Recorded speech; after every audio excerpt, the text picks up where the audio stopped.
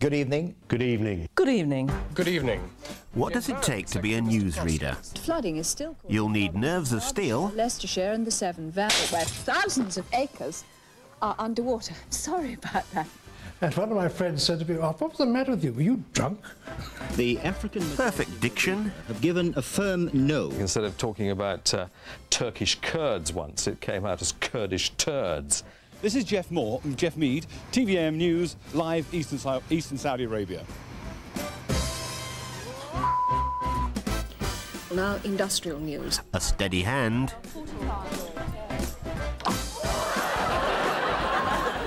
He said, "Ein Moment, uh, nein sprechen uh, English." And I thought, "Oh my God!" Then the city needs And the ability to stay calm, whatever happens. between eight ah! Oh my gosh! As you can see, they're not physical. It's a nightmare, and it's an absolute guaranteed way of making a complete prat of yourself. The headlines.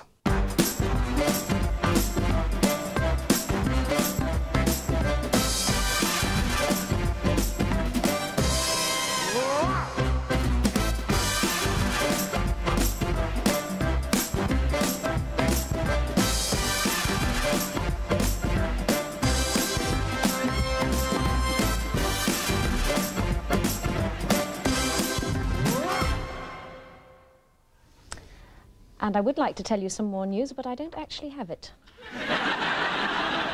Well, I do have some more. Some other business news uh, stories this morning. No, we haven't got that right either.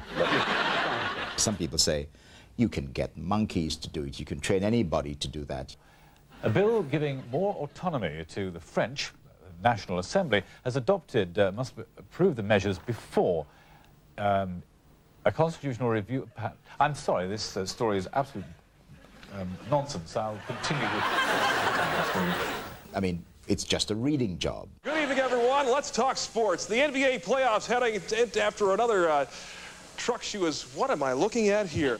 90% of the time, 90% perhaps even or more, all you are doing is, at the end of the day, you are reading aloud. There were times when I felt that I was nothing more than a highly paid talking parrot. It is the other few percentage moments when it can get rather difficult.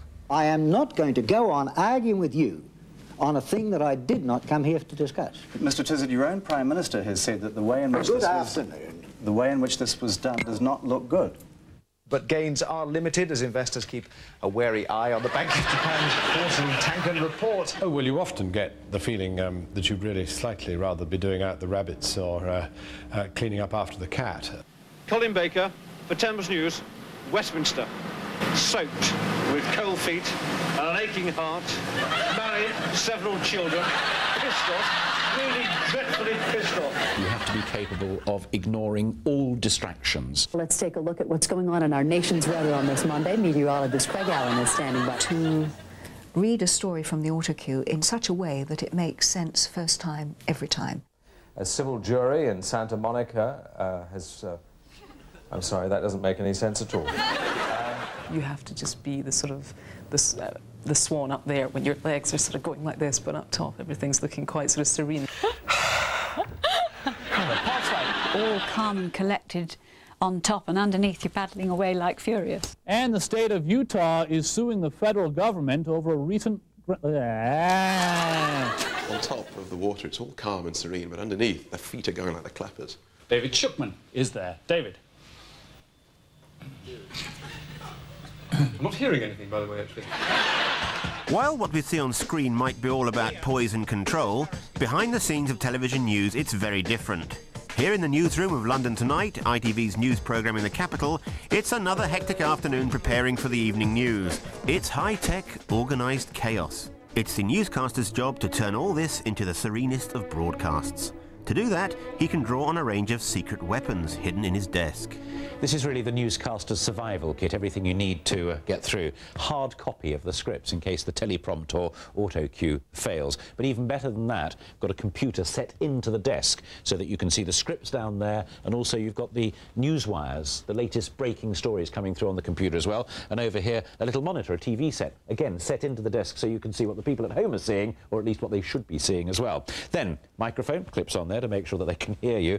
And the most important bit of all, the lifeline, is this, the little earpiece. It just hooks on behind the ear. You shouldn't be able to see it, but it's through that that the producer and director downstairs can talk the whole time.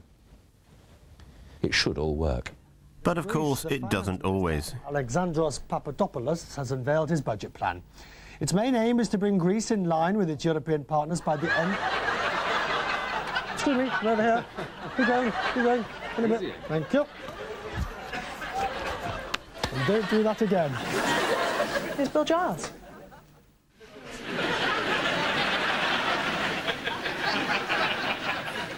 I'm sorry about that. We, uh, we could see Bill Giles, but we couldn't hear him. I'm sure he was saying it was cold, but um, we couldn't actually tell. We've been watching the world today from the BBC.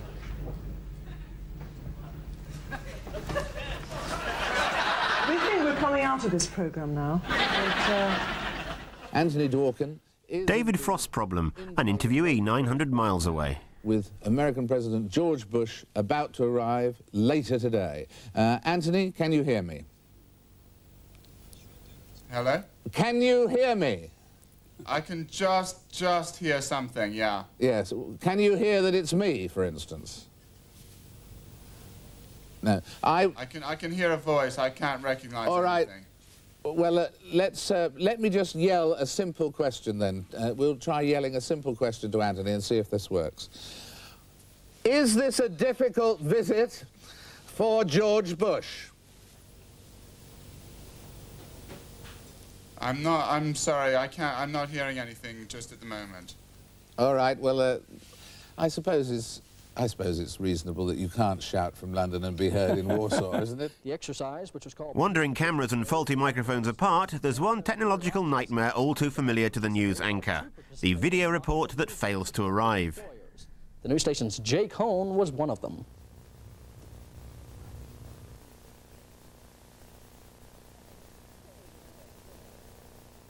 Okay, we don't have that story right now. Things are always going wrong. Um, I can remember doing the one o'clock once, and I kept reading. It seemed like half an hour. It was probably about 10 minutes before we had a, a videotape report ready to go to. How about the ski report, guys? Because if we got that, the recent snow should make for a... We don't have that one either. All right. We just kept reading and reading and reading. It was mayhem in the gallery, with the director saying, "Why is he reading that?" You know, I couldn't answer back and say, "I've got nothing else." All right, well, let's go to something that we do have. We're having a little trouble with the machines in the background. Actually, let's go to a two-shot. We'll talk to Mike Hurd about the weather. Can we do that? Can we? Uh... We do have the tapes, folks. What, what tape do we have? But whatever the technology throws up, the golden rule of newscasting still applies. Remain calm. I remember one editor of ITN one day when we had a lot of technical problems, and I was furious. One of the bits of film which never came up, and there were film in those days, um, was something I know had been used in an earlier program. And I thought, in my silly mind, there was no reason at all why this shouldn't have come up. And I showed my exasperation on the screen. At the end of the broadcast, he called me up and he said, I pay you to look very happy and comfortable, whatever the chaos behind. That's your job. I never want to see you looking so exasperated and troubled and annoyed again. So how do you remain swan-like as the technology falls apart around you? In the last half hour, it's been announced that Britain has lost a £3 billion American defence contract to the French. Washington made the decision despite a huge personal effort by Mrs Thatcher to persuade... It was a one-minute bulletin, but I had just read um, a piece about the IRA, and there was this enormous bang. Flooding is still causing problems in Derbyshire, Leicestershire and the Severn Valley, where thousands of acres are underwater. Sorry about that. One of our bulbs has exploded. And I remember going like that, um, molten glass sort of burnt my, oh, I felt it on my backside, missed my face. And I came up and went on reading. And a row is expected over the decision to keep classified information on the Burgess and Maclean spy scandal a secret. August the 11th last year, and Cornwall has been invaded. Newsrooms from around the country lie empty as hundreds of TV journalists and technicians head for a beach in Penzance. It's the day of the solar eclipse and an unrivaled opportunity for an orgy of live news. The ITN Channel 5 news team, headed by Kirsty Young, has been planning their marathon two-hour live news programme for over six months. I think there were 50 people working on that OB, so you've got OB trucks, You've got satellite links. We had the Hercules up in the sky that had there been a lot of negotiation to allow our ITN cameraman on board there. Um, you have all these people who've been working on scripts for about a month. You've got the films that have been made by reporters. So it's horrible that if you make a bad job, all of these other people have been working ostensibly for nothing at all. It just makes you feel very responsible, and I, I don't like feeling responsible. It's Channel 5 News' biggest outside broadcast ever. Well, we've got cameras all around the area, so we've got uh, seven cameras in this location, three of which are actually in our studio area. When we've got other cameras all around, they're being cut together in our OB truck. That's then being fed into a, um, a satellite uplink. So it's being fed from here via a satellite, being received in um, London, being mixed in with other sources in London, then being fed out to the network. With unpredictable weather and untested technology, the next few hours could be very trying. And there'll be live coverage on the BBC of the Democratic Convention in New York in just in under 10 minutes. That's in about uh, 10 minutes. I'm at a street party in Fulham where they'll be watching the match on a big screen inside. The atmosphere has been absolutely incredible, really amazing. And I've been out actually since early this morning watching the match build up. watching the match. And I Of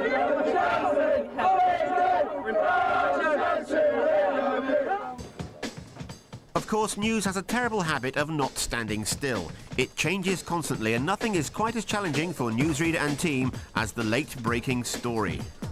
We're sure that Yeah, we are. This is the template for, for the running order for the programme tonight. Uh, pretty self-explanatory. Intro, we're leading on football because of England versus Scotland. If there's a breaking story that suddenly comes in, you know, if that was a really strong London story, we'd pick up on that and it may argue its way into the running order. So I keep the screen split. Menu of the programme, menu of news that's happening literally as we build towards going on air. You know, news can happen at any time. It can happen at 5 to 11. It can happen at 5 past 11 when you're on the air. Um, that's the beauty of news. It's, um, it's uh, anything can happen at any time. It's Stingray. and I've actually gone on air, and um, it, the, the only story that seemed to be ready was the weather. As you can see, they're not physical.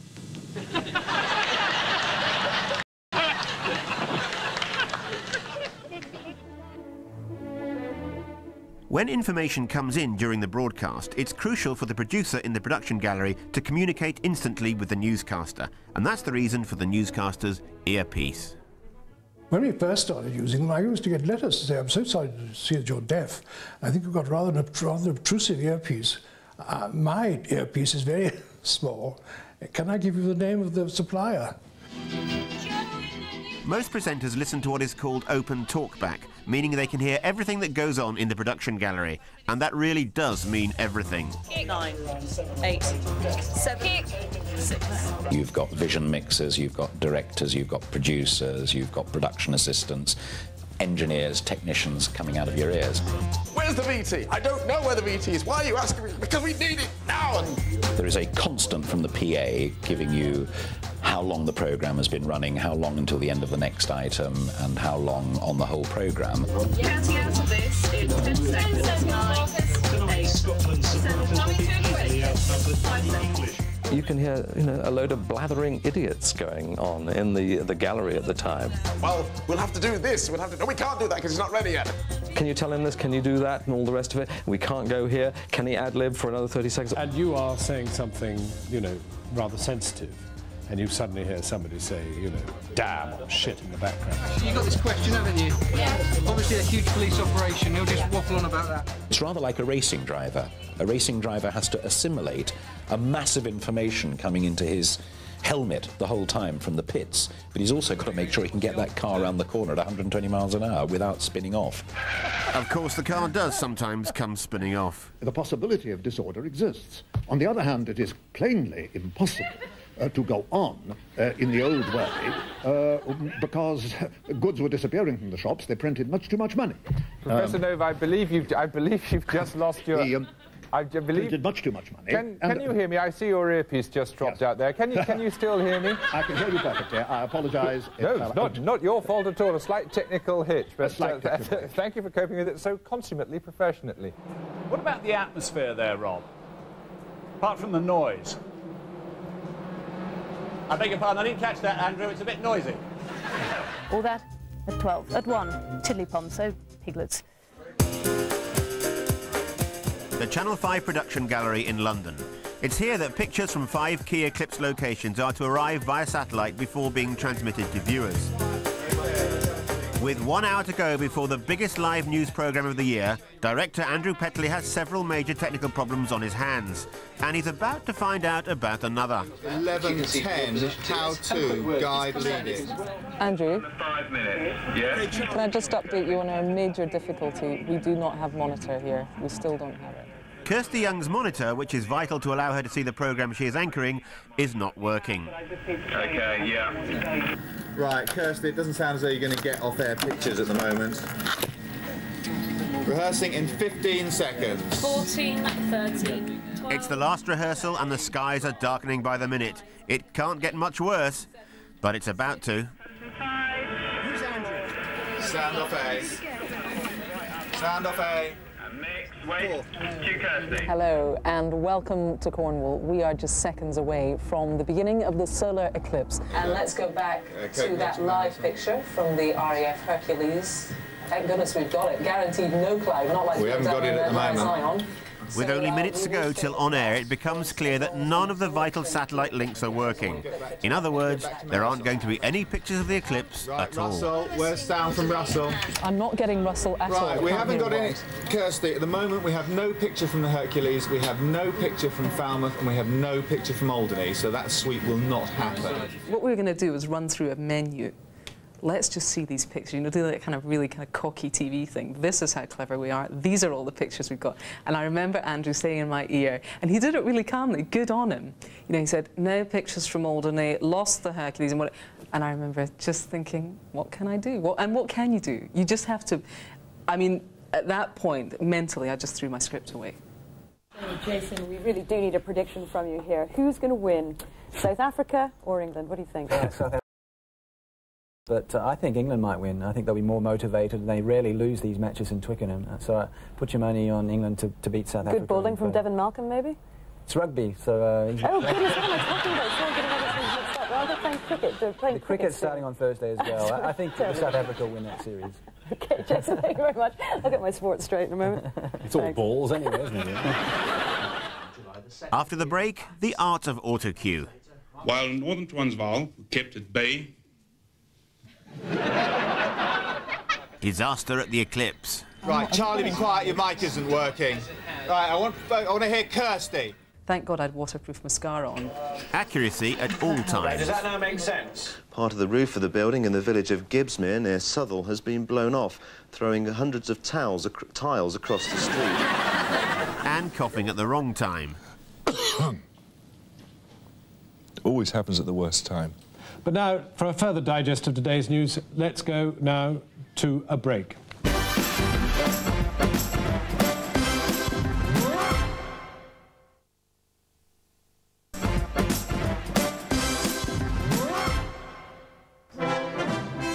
It's the one piece of equipment newsreaders can't do without. Quite simply, it's responsible for putting words in their mouths. The newsreader's very best friend is the auto cue. Words typed here or anywhere in the newsroom come out here. It can go faster or slower. It can even go backwards. Of course, it can go wrong. I'm sure most of us have had that said. You know, you get paid for reading the auto cue. You try and do it. The president is is homeless. Then, excuse me, uh, the president is home after 38 hours. Chairman Harvey Cook told US woman from the Bay of. That's wrong, Marcus. Yeah, I- I'm not doing so well in this, am I? while Northern Transvaal kept at bay, AutoCue is a wonderful invention in that it enables a newsreader to do perhaps the most important thing in delivering news, and that is have permanent eye contact with the audience. 300 toolmakers whose strike has crippled the plant have agreed to go back to work on Monday. But it's a big mistake to rely on the AutoCue being there all the time. I rely very, very heavily. I barely follow it on the, uh, on the script. And uh, if the AutoCue stops, um, I'm in trouble. To be in or not to be in, that is the question this week. Although um, now there I have a problem because uh, the, uh, unfortunately, the, um, the, uh, the AutoCue, which is a rare thing that we ever refer to, has broken down. American film star and model. Take I believe that's the end of the news. Our next bulletin is at 6 o'clock. I have dreams that are real newsreader dreams, and I only know this because I've spoken to other newsreaders about them. Um, you know, about suddenly you, you, check all your scripts before you go on air, and then you come, they come up on the autocue, and they all are either in a foreign language or all the letters are back to front. Now, uh, in fact, I think we're going to have a report, are we, from Peter Biles on the, uh, the O.J. Simpson trial. A civil jury in Santa Monica uh, has... I'm sorry, that doesn't make any sense at all. Um, in the old days, AutoCue looked like this. A simple roll of paper held together with humble sellotape. Crude and unreliable as it was, there were times when it was indispensable. I was doing the six o'clock news one night, it was going swimmingly, and then suddenly th there was three words which somebody had handwritten in, which really spelt disaster for me, and that was spinach on teeth. And it suddenly hit me. Yeah, I'd had uh, spinach salad for lunch. A brief uh, twister or wind gust. Uh, Attention to detail is vital. While the newsreader on the right is reading, the newsreader on the left is listening. Or is she? Feet from where the 40-foot fir crashed through her kitchen, severing her house in the Gateway area. Fortunately, no one was injured, although she's not sure where her cat disappeared to. She says the wind only lasted a few seconds. Well, the brief twister or wind gust also sent a tree right down the middle of a Springfield woman's home. Linda Russell was just feet from where the 40-foot fir crashed through her kitchen, severing her house in the Gateway area. Fortunately, no one was injured, although she's not sure where her cat disappeared to. We've heard this before, haven't we? I'm sure I've heard this someplace before. It sounds familiar. Back in Cornwall with Channel 5, it's only a few minutes until they are live on air. Pictures are finally beginning to come in from the satellite links, but it doesn't look like there's going to be a single clear view of the eclipse. Do we have Falmouth? Where's Falmouth? No, Falmouth is still... Right, we no, do no, not do, have... No, no, just, do, just come up. Right, Falmouth has just come up. It's cloudy.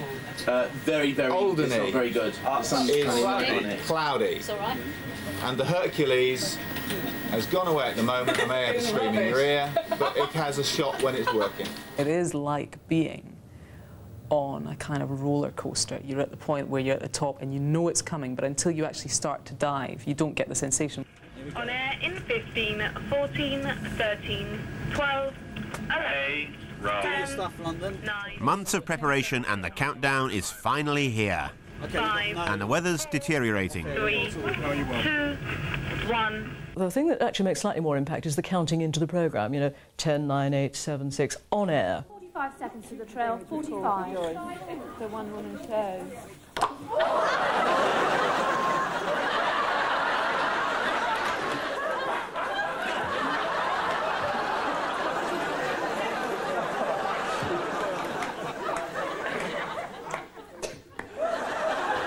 Stand by, please, everybody. Stand by.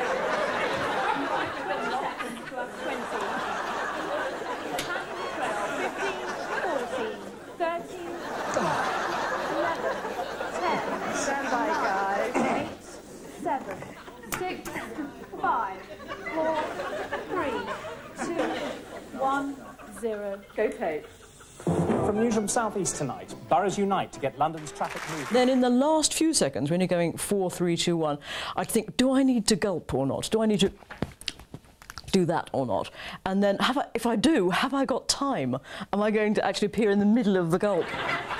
Animal welfare countries are urging Spain to ban bullfighting. Excuse me. Oh, am I on? am I on? This is a live show, and this man is no longer a newsreader. no, I'm Well, that's one of our funnier little episodes, isn't it? Newsreaders have even been known to think they're rehearsing when in fact they're live on air. That's at six. We can't wait. Hope you can't. Join us. Lots of love. See you later. The countdown is over, and there's no stopping the inevitable. It's finally beginning to rain. Well, hello and welcome to Cornwall. We're just seconds away from the beginning of the solar eclipse, the most magical and mesmerizing sight that you may ever see in your life. Let's have a look at And what go. we can see from those cameras right now. On your this is the camera. camera right here at Cloudy. Marazion, and you're seeing pretty much what I'm seeing, which is plenty cloud this morning. I do remember within the first few minutes of us being on air, I could feel it on my face. We've got cameras at a stone circle high up on Bodmin Moor, from where the delicious Russell Grant joins us. Russell, what's happening where you are? How bad is the rain looking? While viewers are watching Russell Grant reporting from Bodmin, the rain is getting heavier by the second. Kirsty and her team try to decide whether to continue the programme in the open air or to retreat to the makeshift studio they've had built but hope they'd never have to use. Stay there for the minute. When you get on to Charlie, bring Kirsty. We come out of this and we do the five Well, you know, I just think it's going to look so terrible if we go indoors. That's that If you is can my bear to opinion. stay out, let's do it. Stay with it. It's just a bit, you know, it's only water. I mean, are you are you worried? No, no. I'm not worried. I think it will be better to be here and to laugh at it than it is to be a pain in the neck and get in there. It's five. Stand by and mix Tamara's on cue, Kirsty. Then the decision is made for them. Just as cameras return to Kirsty, water has got into the equipment. Russell, we're coming to you, okay? We lost the link from Kirsty. Cue. Well, I'm here now at Bodmin Moor, and I'm at the... Russell Grant has to come back on air much earlier than he expected. 11.30, the throw to Charlie. My auto cue's just gone down. Okay, auto cue's Then the heavens open and Kirsty's autocue goes down. And it's a mad scramble to get everything out of the rain. Problem. Go inside. Go inside now. Camera one, everybody inside. Inside, please. Hi, Kirsty. Can you hear me? Okay, do not come to us. We're moving inside. It's gone um, we need to get MCR across that feed. Kirsty, I don't know if you can hear me, but we've lost the feed. Now, when that eclipse actually happens, not so long... Viewers watching Russell in Bodmin are blissfully unaware of the behind-the-scenes panic in London and Penzance. We've lost the feed. I do recall that I got a raging fit of hysterical laughter at some point. I don't know if that was around about that point because it was, it was high comedy. You know, the, the production meetings, the scripts, the budget meetings, the telephone calls, shipping all the stuff down from London, everybody arriving by train. You know, this massive wave of activity was suddenly thrown into complete chaos by a little bit of rain, and that, that's very, that was very funny to me. Yeah, but we've got to explain why we're not at Marazion, okay? So when we come back to you, you just have to ad-lib a bit, say, right, the rain's causing all sorts With no sign of restoring pictures from Kirsty in Penzance, it's left to Russell Grant to conjure up an explanation for the viewers. Well, we've got a few technical problems at Marazion, a beautiful little town, but it's not affording us too much hospitality at the moment, simply because with this eclipse, there's a lot of cosmic energy going on up there. so much going on here. Finally, Kirsty is back on air. We are, in fact, not on the beach. We've come inside because the rain was so heavy that it was drowning us all out, and that's why we lost pictures.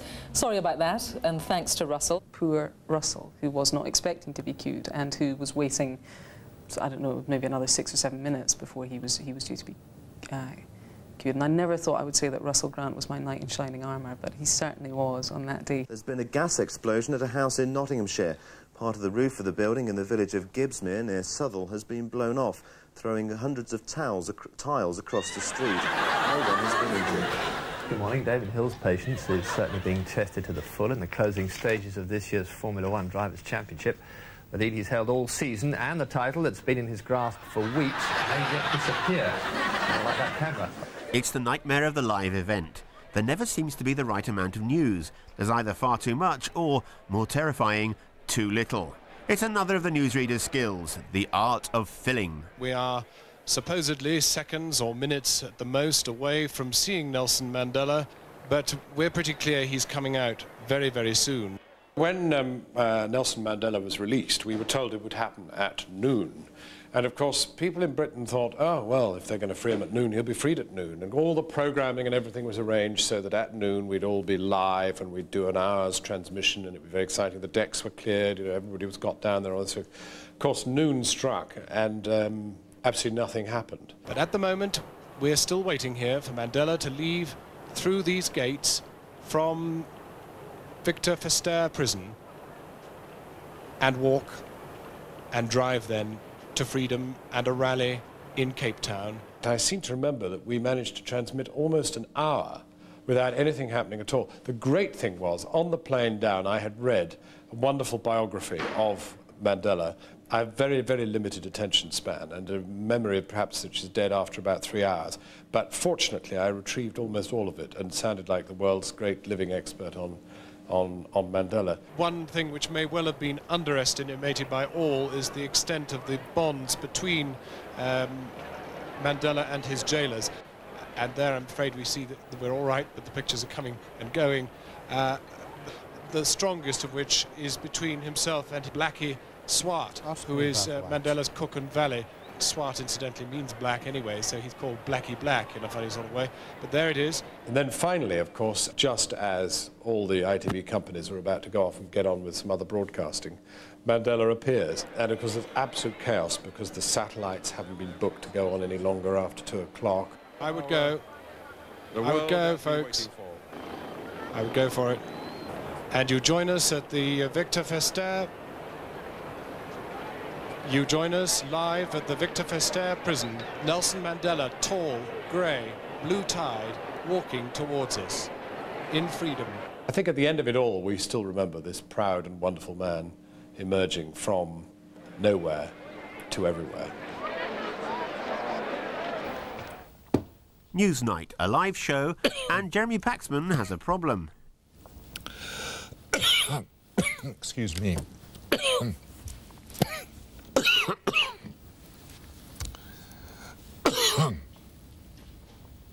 Always happens at the worst time. Back on air, Kirsty has made it through nearly an hour of the Marathon Eclipse programme. Now the light is fading, the total eclipse is on the way, and with it, more trouble. Okay, shut up, Charlie. We're going to just take this. Fine, we've got 10 okay, seconds let's go across to the Hercules. everyone. Let's go across to the Hercules. We should start seeing Five seconds now. to the beads. Four, three, Right, two, Neil, try and get some more one. gain in the should pictures. Five seconds totality. Four, three, two. More gain in the cameras. Go to the Goonhilly. Go to Goonhilly. It's It's not synchronous. Go back. Go back.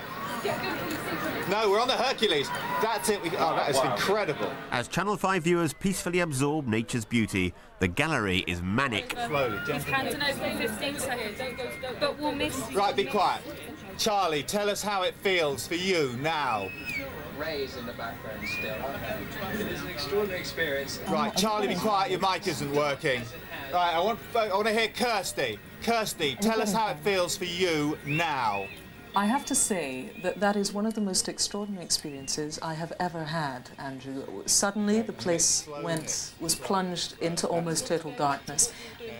No, none of that was scripted. No, that was just genuinely my reaction. I mean, we had the, we had the sort of time built in for that, which was, you know, rather cynically kind of, I don't know what it was, 32 seconds for Kirsty's reaction or whatever, but actually, because you have to do that, you have to build it in in television time. But for me, completely genuine reaction. Channel 5 Eclipse Live. It's finally over, and amazingly, viewers are blissfully unaware of the ordeal which has been endured behind the scenes. Right, very well done, everybody. That talk about fighting the odds. Hi, MCR. Thank you. switch you away now. Yeah, well done down there. That was murderous for you, I should imagine. Well done. oh, my hair is like a God knows what. A successful transmission and a rare opportunity for a newsreader to break rule number one never show emotion. Of course, it's a rule which has on occasion been memorably ignored.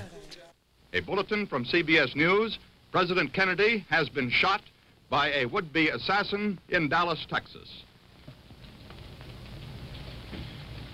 From Dallas, Texas, the flash, apparently official, President Kennedy died at 1 p.m. Central Standard Time, 2 o'clock Eastern Standard Time, some 38 minutes ago.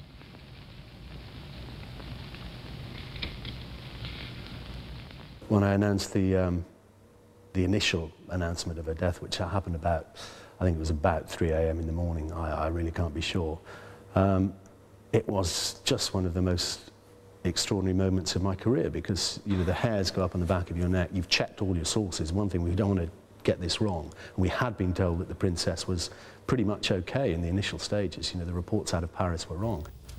Uh, we have a lot of other information coming through, uh, uh and uh,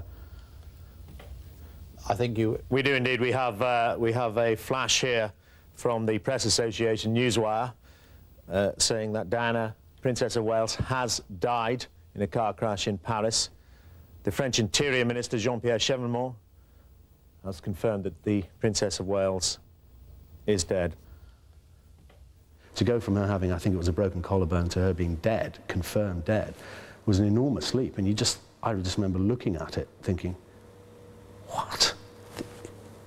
I, I can't believe it's true. I don't think that's ever happened to me before or since. But there have been a number of um, stories that you're really just introducing and watching as they go out, um, where you feel what actually the audience feels as well, some considerable uh, emotional impact. And then I think it's right to um, to have that reflected in a minor sort of way, that you aren't an automaton, that you are a human being with, with, with the normal human feelings. After the break, nightmare tongue twisters from hell. West Bank, best wank. Beware the giggle. Actually, And what really happened on the day the lesbians invaded?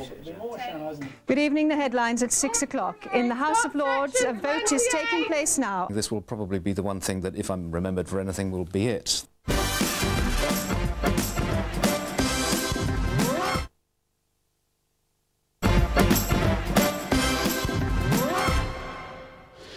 Well, now, I think there should have been some uh, commercial messages at that point, and uh, the reason for the delay and um, the reason for the length of... Uh, where's the spectacles gone? What have I done with those? I put them in. I just went out for a bit of a touch-up.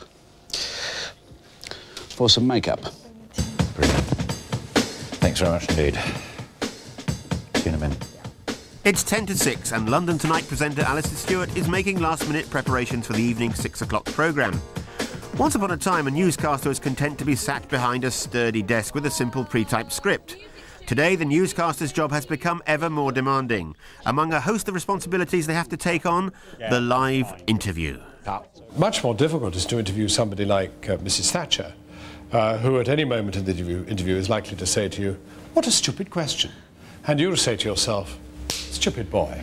How did I ask such a stupid question? She's absolutely. Then you think, hang on a minute. I'm asking the questions. You're giving the answers. It's a perfectly reasonable question. But of course, by then you've already sort of submitted and said, Matron, you're quite right. To suspend Marriott, he would have to. The undisputed master of the difficult interview, Jeremy Paxman, a man determined to get an answer to his question. I was entitled to express my views. I was entitled to be consulted. Did you threaten to overrule I, I was not entitled to instruct Derek Lewis, and I did not instruct him. And Did the you truth of, to overrule the, him? The truth of the matter is that Mr. Marriott was not suspended. Did you I did not to overrule him? I did not overrule Derek Did you Lewis. threaten to overrule him? I took advice on what I could or could not Did do. you threaten and to I overrule him, acted Mr. Howard? scrupulously in accordance with that advice. I did not overrule Derek Did you Lewis. threaten to Mr. overrule him? Marriott was not suspended. Did you threaten to overrule him? I have accounted for my decision to dismiss Derek Lewis. Did you threaten in to overrule him? Detail before the House of Commons. I note you're not answering the question whether you threatened Well, to the- overrule him. The, the important aspect of this, which it's very clear to bear in mind. I'm sorry, I'm going to be is this. frightfully rude, but yes, you but can. I, I'm sorry. It's you- you a quite can put- straight you yes can or put the no. question and I will- I will straight give yes or you- no I will give you an Did you threaten to overrule him? You may be able to see it, but can you say it? Reading is one skill, but speaking is quite another. The newsreader should be a master of pronunciation. Every word must be enunciated clearly and, most crucially, correctly. world's most vibrant, prosperous cities, what will the new era of Chinese rule bring? And the mom, mom, mom, mom, and the mom, mom, and the mom, mom, mom, and the mom, mom, mom, and the mom, and the mom, and the mom, mom, boom, boom, boom. I remember Angela Rippon was wonderful. She always used to say, talk about um, Joshua Nkomo. And uh, and I think I mean that was I think that was absolutely great, and she became known for it at the time. I mean, everybody else was saying Joshua and Como, and she went "Mm, Como. I just have a bee in my bonnet about it. I think it's actually very important that newsreaders, above all, should be people who give correct pronunciation on things. And when it comes to foreign names, again, people say, well, it doesn't matter. Well, of course it does. I mean, if people were to mispronounce my name or your name or anybody else's, um, you'd get very upset about it. This is Jeff Moore, Jeff Mead, TVM News, live Eastern, Eastern Saudi Arabia. There's one name which has gone down in news reading history as the most terrifying thing ever to appear on autocue. Yes, there was a gentleman in Africa, wasn't there? Oh, yes. uh, What was he called? Sir Abu Bakr Tafawa Balewa. Sir Abu Bakr Tafawa Balewa. I was quite unkeen on him, I must say. Sir Abu Bakr Tafawa Balay or something like that, I think. Yeah, it's quite a name to suddenly come across. But the experts say even if you haven't a clue how to say it, you don't need to give up that all-important poise. The great trick is whether you're right or wrong, um, go for it. Don't worry about the pronunciation. Whatever you say, say it with authority. Don't hesitate, jump in. I mean, if you hit it with enough brio, I mean, even those people who know how to pronounce it properly think they've got it wrong. Not many cars were moving, but mooing could be heard on the ca- early this morning. A tractor trailer transporting Black and Gus, there's Black or Gus, was stopped on the side of the beltway while the driver changed a flat tire. Officials say no people and no cows were injured. I wonder if those cows named Black and Gus were actually Black Angus cows, perhaps. Black and Gus. Yeah. it's just a possibility that I thought. You Are know, you we'd thinking I explore. misinterpreted No, no, something? No, no, it's, uh, that came from the government. That was a government source, wasn't it? Transporting Black. Black well, anyway, uh, enough about our cow naming uh, impairments at this point. we're going to find out who's right. Right. I suspect it's you. Right. And first, the Even with easy words, the tongue can play terrible tricks. Ulster's policemen tell the politicians we won't be used as prawn pawns. I've made my mistake. Instead of talking about uh, Turkish Kurds once, it came out as Kurdish turds. And uh, West Bank, best wank. Oh, good morning, Virginia. A Virginia classic from Bob Corey, fresh roasted penis. I was reading the news about seven o'clock in the evening, and I heard a little sort of plop on the desk in front of me, and I didn't know what that was. It never occurred to me. It was a tooth.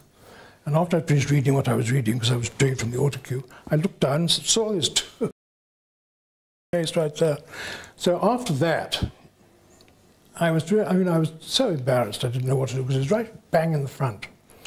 And so I was reading the news, of the stiff her lip like that. and one of my friends said to me, oh, what was the matter with you? Were you drunk? Poise, dignity, authority. These are the qualities needed in a newsreader. But they can all vanish in seconds if the presenter succumbs to the ultimate temptation. The cardinal sin of newsreading. Beware the giggle. It's nostalgia for the past. Congratulations. Let's have another look at the winner. One night I had a story to read. It was an absolutely fatuous story, but it's about some poor fat lady who had been in a garden hanging out her washing, which she'd carried out in a bathtub, one of those tin bathtubs. And as she was hanging it up, something happened to her and she fell back into the tub and she was so fat she couldn't get out of it. Well, now, you know, I defy anybody not to laugh at that. And I did laugh. The next day, the editor of the day was severely reprimanded. A, for having that sort of story, and B, for letting the newsreader laugh, and don't ever do it again. So that shows how serious they were about being serious.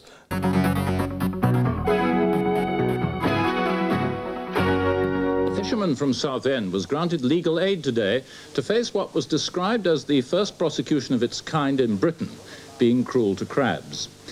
The RSPCA claimed that Brian Baker's crabs were overcrowded, and he, uh, he failed to carry them in a soundly constructed receptacle. the hearing was adjourned. A bizarre toothbrushing incident is causing funding problems for a state-run hospital. Officials threatened to cut off funding over an experiment to help patients overcome their fear of oral hygiene. State investigators say the experiment violated nine patients' civil rights by, for pardon me, by forcing them to brush their teeth.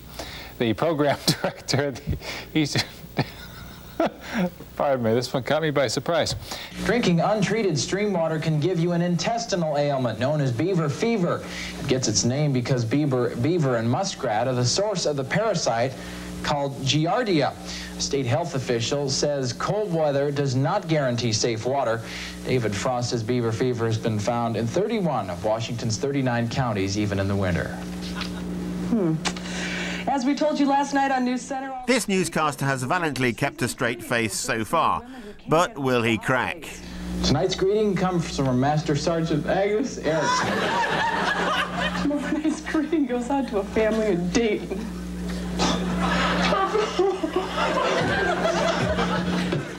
A university graduate was found wandering in his underpants after experimenting with magic mushrooms. 22-year-old Philip End of Park Grove in York had eaten a sandwich made with the dried And finally. And finally. And finally. But there is one incident which has gone down in the history of television news, when newsreaders themselves made the headlines. And lastly, a story that started in our studios tonight. This will probably be the one thing that, if I'm remembered for anything, will be it. The moment that I sat on a lesbian protester live on the six o'clock news. The six o'clock news from the BBC with Sue Lawley and Nicholas Witchell. I could hear the director saying, get security, get security. As the titles were running, I picked up the phone beside me, and actually, if you look very carefully, you can see in the titles me on the phone, which wouldn't normally happen, and I went through to a very bewildered television centre uh, telephone operator and said, it's the 6 o'clock news here, we've been invaded, please send security. Good evening. The headlines at 6 o'clock. In the House of Lords, a vote is taking place now on a challenge to the poll tax. Two of them went and sort of attached themselves to cameras in the studio. There was absolute bedlam in the gallery. One of them came round behind the desk and chained herself to it just between myself and Sue Lawley, who, magnificently, uh, kept reading the headlines. Tory rebels have said that the tax is unfair and unpopular. Lord Whitelaw's told them they should not be confronting the elected chamber. I thought, well, goodness me, what on earth is one supposed to do in a situation such as this? Um, and I got up, unplugged myself, and attempted to, uh, first of all, to drag this um, lady away, discovered she was chained to the desk, so gently restrained her. And I, I seem to remember that I said, shh, please be quiet, you've made your protest now. Another prosecution involving undercover police and alleged... It was perhaps the supreme example of swan-like newsreading. And repairing the roads. Why the codes, cones signal a lot more chaos this summer. And I do apologise if you're hearing quite a lot of noise in this studio at the moment. I'm afraid that um, we have rather been invaded by some people who we hope to be removing very shortly. In the meantime, if you can possibly ignore the background news, we'll bring the news as best we can. So once uh, we had been able to um, rid ourselves, or the, the, the, these protesters were removed, the news continued, of course. We see their faces more often than we see some members of our own family. Small wonder then that newscasters have found a special place in our hearts. I've had keys sent to me in the post once. Uh, a very kind uh, woman once sent me um, her keys and said my husband's uh, away, I think, on a North Sea oil rig. Would you like to pop around one day? Um, I politely declined. Bob Dougall, I think because his name sounded Scottish, used to get bottles of whiskey and things of that sort. And Kenneth, who was a very elegant gentleman, used to get things in silver or leather. And I used to get woolly jumpers. I mean, absolutely galore. I can't tell you how many woolly jumpers I got. Um, I, lovely. I've still got some of them. I mean, just occasionally, people had obviously measured up against the screen, you know, so some tiny garment would arrive that you couldn't possibly use. Why do people go bong in the street to me? you know, what's all that about? There's no doubt that to be shopping in Sainsbury's and people come up to you and say, well, Mr. Suchet, I didn't think much of that interview, you think, that's right, you know, I mean, let's get these things into proportion. You know, I mean, if you're David Beckham, you're a celebrity and famous because you're good at football, or if you're um, Nigel Kennedy, you're, you're famous because you can play the violin. But a newscaster, at the end of the day, is really only famous for being able to read out loud. And that's all the news this evening. Good night. And that's the news tonight. Good night. Good night. Hello. Not since 66 can I remember such a cold 5th of November.